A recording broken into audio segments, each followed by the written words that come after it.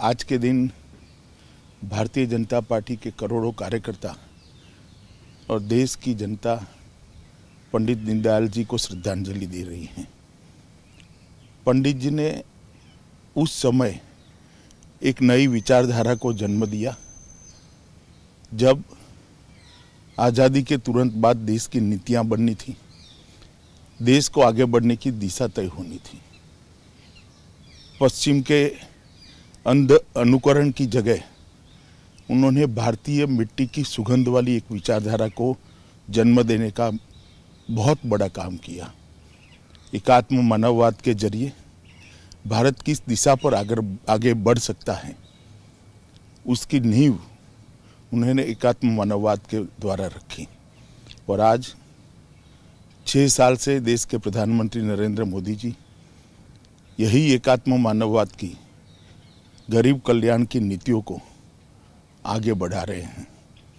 और 60 करोड़ गरीबों के घर में गैस का चूल्हा, बिजली, शौचालय, स्वास्थ्य की सुविधाएँ, खाने का अन्न, ये सारी चीज़ें पहुँचाने का काम यही गरीब कल्याण नीति ने किया है, जो दीनदयाल जी की मूल विचारधारा थी।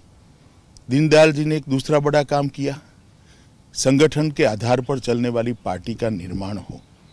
नेतृत्व की चकाचौंध से नहीं परंतु करोड़ों त्यागी परश्रमिक कार्यकर्ताओं के आधार पर एक सर, सरकार और पार्टी और जनता के बीच में संवाद करने वाली संगठन की श्रृंखला खड़ी हो। शुरू में तो कार्य बहुत कठिन लिखता था जब 50 के दशक में शुरुआत करी मगर अब तक आते आते भारतीय जनता पार्टी एक वटवृक्ष बनी है और वो दिखाती है कि दीनदयाल जी कितने दूरदर्शी थे।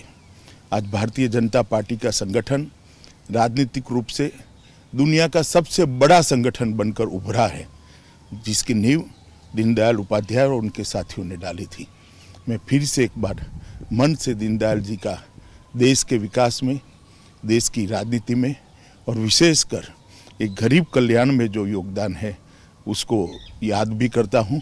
और दीनदयाल जी को श्रद्धांजलि भी देता हूँ Subscribe to our channel by clicking the subscribe button. Click the bell button and enjoy the latest uploads from our channel.